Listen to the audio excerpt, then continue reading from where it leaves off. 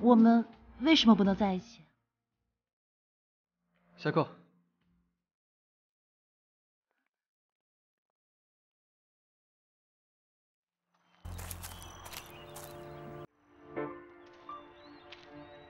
她是我妈。阿姨她每天早上起来，她都会觉得自己是一个十六岁高中生。先天性失忆症具有遗传性，我的外公和舅舅也是如此。所以，当他们步入中年的时候，就会记忆衰退，然后会形成日抛型记忆，最后呢，就只剩下童年的回忆了。我妈就是这样，所以她每天早上起来都会觉得自己是一个十六岁高中生，然后会发现自己多了一个比自己大了几十岁的老公，还会多一个儿子。正是因为这样，她抑郁过，幸好有我爸陪在她身边。也正是因为抑郁症，我妈没有办法正常生活，只能进入疗养院。我和我爸呢，也成了她的陌生大叔和弟弟。吕欧，其实我不害怕的。盼盼，你的短时失忆症是有几率康复的，我们吕氏做过这个实验。先天性失忆症是没有办法康复的，所以说，我没有办法给你正常的生活，我也不想拖累任何人。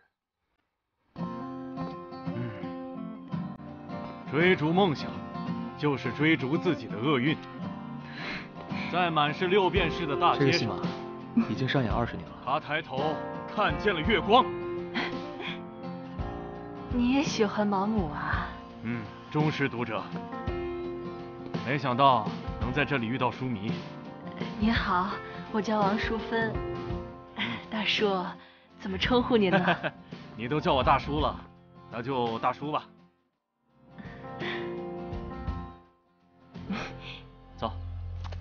你忙。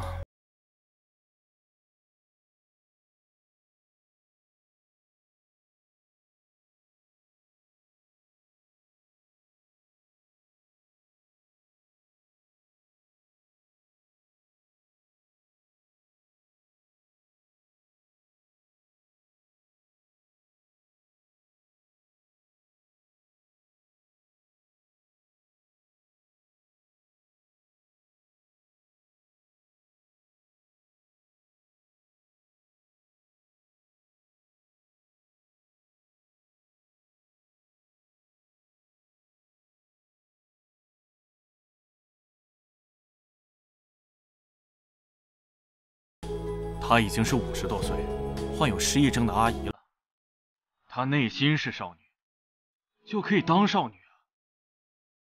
我是为了让她开心，还是为了让她接受这个现实的打击呢？哇！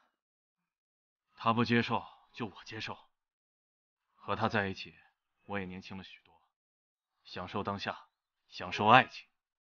也许，这就是我的答案。享受爱情就是答案。答案不止一个。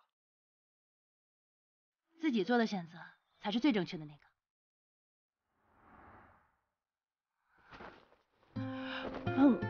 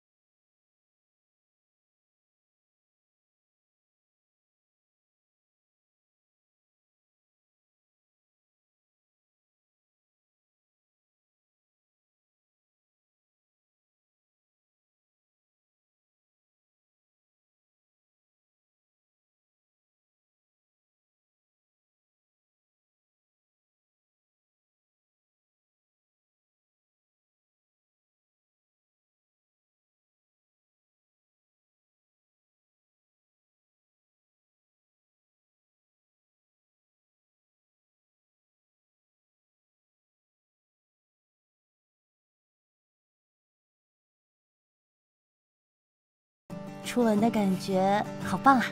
其实咱们已经初吻过很多次了，但那都是实验。但对我来说，那不仅是实验。李瑶，我想和你说个事儿。我想，我们可不可以一起做一些运动啊？